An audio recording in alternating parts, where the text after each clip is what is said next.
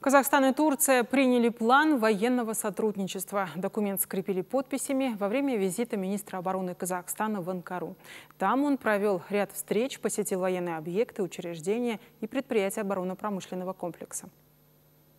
Визит министра обороны Казахстана Руслана Жаксылыкова в Турцию состоялся в праздничные дни. Республика отмечает свое столетие. Поэтому рабочая поездка началась с церемонии возложения венка к памятнику Ататюрка. Затем оба министра обсудили вопросы текущего состояния и перспективы двусторонних отношений в сферах, представляющих взаимный интерес.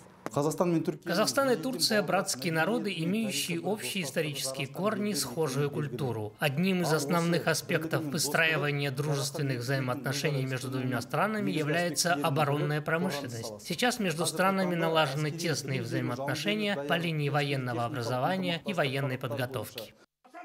В этой связи министр обороны посетил военное училище сухопутных войск и пообщался с курсантами из Казахстана. Он поинтересовался организацией обучения, досуга и условиями быта. Встретилась казахстанская делегация и с главнокомандующим жандармерией, МВД и руководителем управления оборонной промышленности Турецкой Республики. По итогам всех встреч был подписан план военного сотрудничества между Турцией и Казахстаном на 2024 год.